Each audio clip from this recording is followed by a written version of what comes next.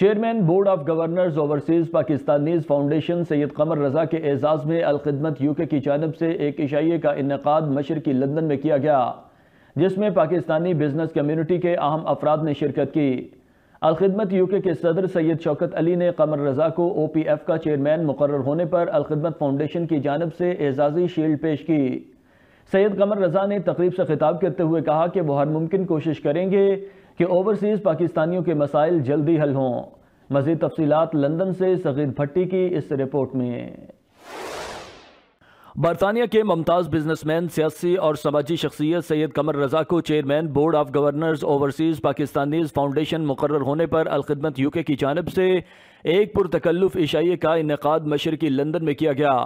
تقریب میں British Muslim friends of Labour کے چیئرمین شوکت علی، سابق mayor Liaquat Ali, Pakistan Peoples Party برطانیہ کے صدر محسن باری سمیت صحافیوں اور پاکستانی بزنس کمیونٹی کے اہم افراد نے شرکت کی۔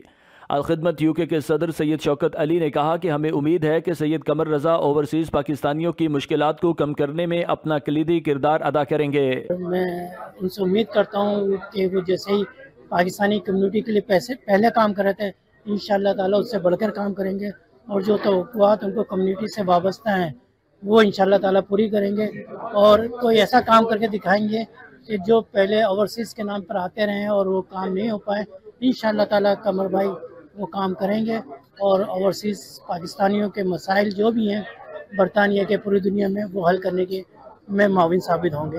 Chairman board of governors overseas Pakistanis foundation Syed Qamar Raza نے کہا کہ حکومت اوورسیز پاکستانیوں کے مسائل کو حل کرنے میں سنجیدہ ہے۔ وہ ایک ایک کر کے اوورسیز پاکستانیوں کے بنیادی مسائل کو جلدی سے جلدی حل کروانے کی کوشش کریں گے۔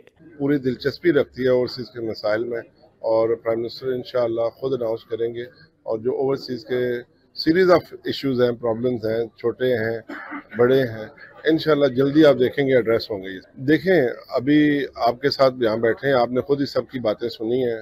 اس سے پہلے بھی ایک پروگرام میں میں گیا ہوں اور روزانہ ہی ایک دو ایک دو، تین پروگرام ہم کر رہے ہیں۔ اوورسیز پاکستانی پاکستان سے پیار کرتے ہیں وہ پاکستان سے بتاشا پیار کرتے ہیں۔ تو میرے خیال میں یہ جو دشمن کی چال ہے یہ وقتی تھی اب نہیں ہے اور انشاءاللہ جو رہتی ہے وہ بھی نہیں رہے گی۔ British Muslim friends of Labour کے چیئرمین شوکت علی نے کہا کہ پاکستان حکومت کا سید قمر رضا کو چیئرمین بنانے کا فیصلہ بالکل درست ہے کیونکہ قمر رضا اوورسیز پاکستانیوں کے مسائل بخوبی سمجھتے ہیں۔ میں سمجھتا ہوں قمر رضا صاحب لیڈ دس ویری سکسیسفلی کہ یہاں پہ جو بھی آرگنائزیشن نے لیڈ کی ہے، ہمیشہ الحمدللہ سکسیسفل ہوئی ہے۔ تو سو وی وش ہم آل دی بیسٹ ہم قمر صاحب کے ساتھ شانہ بشانہ کھڑے ہیں۔ Anything he wants we there Alkhidmat U K صدر سید شوکت علی نے قمر رضا کو او پی ایف کا چیئرمین مقرر ہونے پر الخدمت فاؤنڈیشن کی جانب سے اعزازی شیلڈ پیش کی۔